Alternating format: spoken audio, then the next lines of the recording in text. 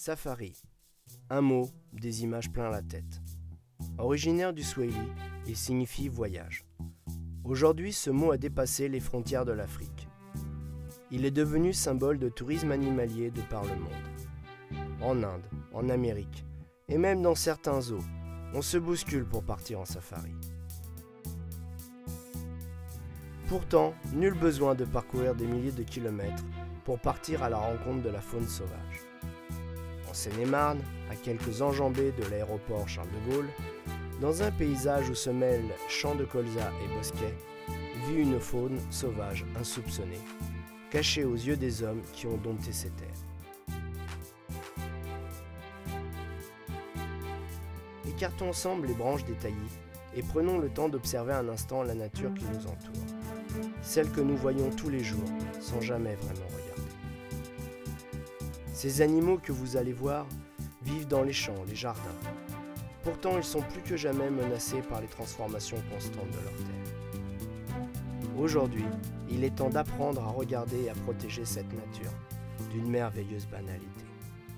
Je vous emmène donc à travers champs pour un safari en Seine-et-Marne.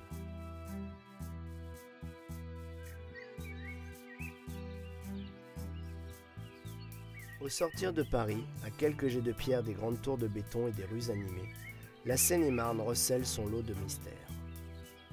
La faune abondante peuple les terrains champêtres du département. Discrète, elle se laisse difficilement observer par les yeux humains. C'est pourtant le défi que j'ai relevé. Observer et filmer la richesse naturelle de ma région.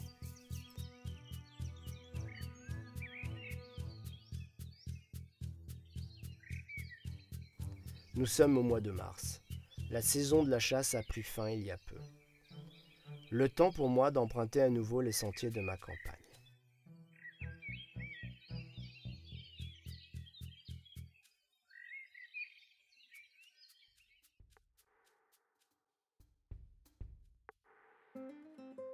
Le bruit des fusils s'est estompé, laissant place à un silence bienfaiteur. Pour l'instant, la brume règne en maître recouvrant d'un épais manteau humide, la végétation encore bien timide. Le soleil printanier n'a pas encore réveillé les fleurs, qui pour la plupart attendent avec impatience un climat plus doux. C'est le moment que choisit le chevreuil pour pointer le bout de son museau. Lointain cousin du cerf européen, ce petit prince des champs est néanmoins beaucoup moins imposant. Sa curiosité l'amène très proche des observateurs discrets. Cependant, au moindre bruit, il sursaute et le voilà sur ses gardes. Un mouvement de ma part, il aboie pour prévenir ses congénères et il disparaît dans les forêts.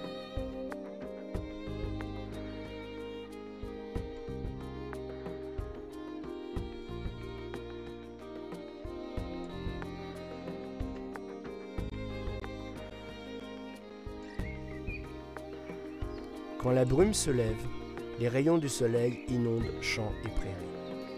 Malmenée par l'hiver sortant, la terre se réchauffe et reprend peu à peu.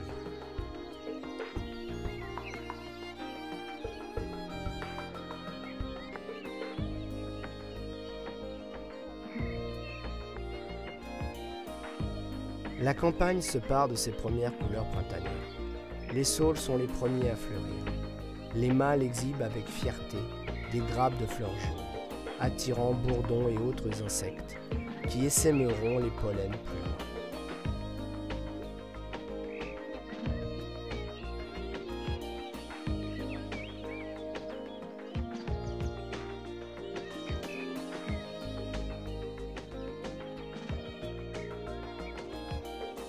Pour l'heure, les mésanges bleus s'activent au travail.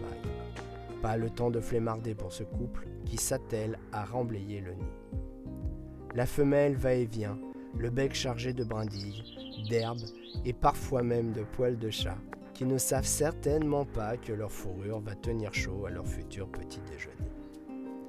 Le mâle, quant à lui, se contente de surveiller le bon déroulement des opérations. Il semble également vouloir parfaire l'entrée de leur nouveau domicile. Bientôt, madame, pondra une petite douzaine d'œufs dans un nid tout neuf.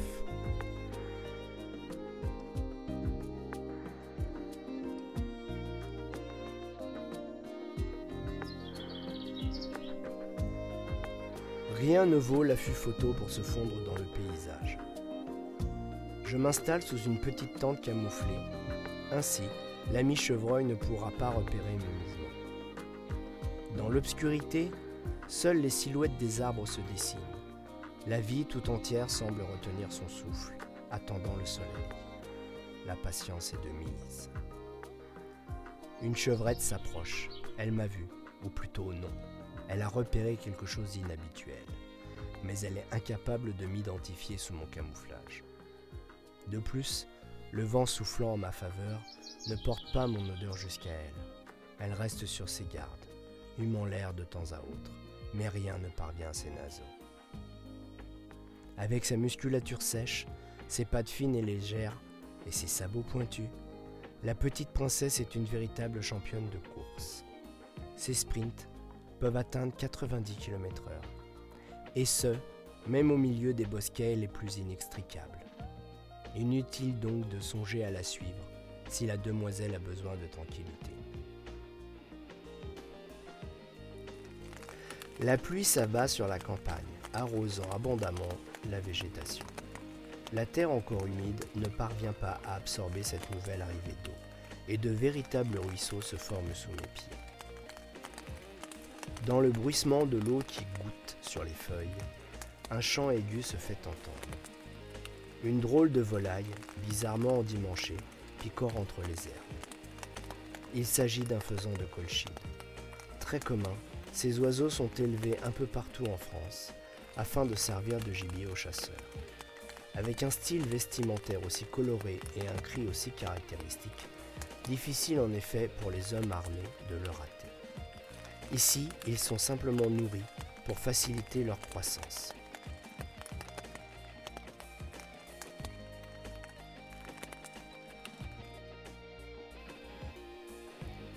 Peu à peu, les nuages s'éloignent et le soleil couchant enflamme le ciel avant de disparaître à l'horizon. Dans la féerie de la nuit, la campagne offre à mes yeux un tout autre visage.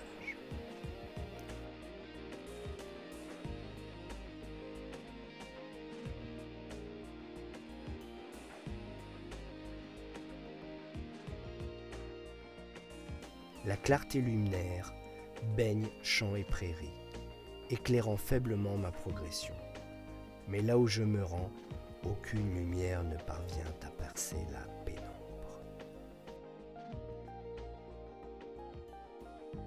Dans le bois de la mare demoiselle, un îlot de verdure perdu au milieu des cultures, l'obscurité est la seule maîtresse à bord. Cela ne gêne pas le moins du monde ce voisin que je suis venu guetter. Sous les arbres, les oiseaux ont cessé de chanter. Un museau apparaît, masqué de noir et blanc. Le blaireau s'éveille après une journée de sommeil. Ce petit ours des campagnes est essentiellement nocturne. À la nuit tombée, il sort de son terrier afin de se mettre en quête des vers de terre dont il raffole. Un couple a élu domicile ici. Leur nuit commence par un toilettage minutieux, puis un réaménagement des toboggans de sortie. Un petit tour aux toilettes s'impose.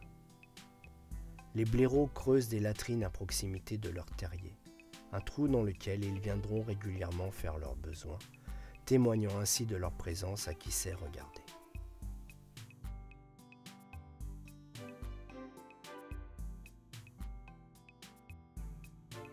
L'aube est encore loin lorsque j'installe mon affût dans la prairie. Mes yeux ne parviennent pas à percer les ténèbres au-delà des trois mètres. Calme. Pas un mouvement ne vient troubler la campagne. Le temps s'est figé. C'est pourtant le moment idéal pour rencontrer les mammifères qui peuplent secrètement la contrée. Soudain, une ombre se dessine, une silhouette imposante et des bois sur la tête. En réalité, il s'agit d'un petit groupe de quatre cerfs venus prendre un petit déjeuner matinal. Profitant de l'obscurité, ils se sont aventurés hors de leur bosquet. Leurs bois paraissent ridiculement petits pour un animal de cette taille, mais cela ne saurait durer. Ils sont en pleine repousse, et quand l'été sera là, ils seront parfaitement développés. Ils sont pour l'heure entourés d'une fine couche protectrice, appelée velours, qui va assurer leur croissance et leur protection jusqu'à la fin du mois de juillet. Ils deviendront alors de véritables armes de défense et d'attaque. Afin de faciliter la croissance, ils doivent se nourrir très régulièrement, ce qui les rend moins prudents. Jeunes pousses, bourgeons, plantes herbacées constituent l'essentiel de leur régime alimentaire.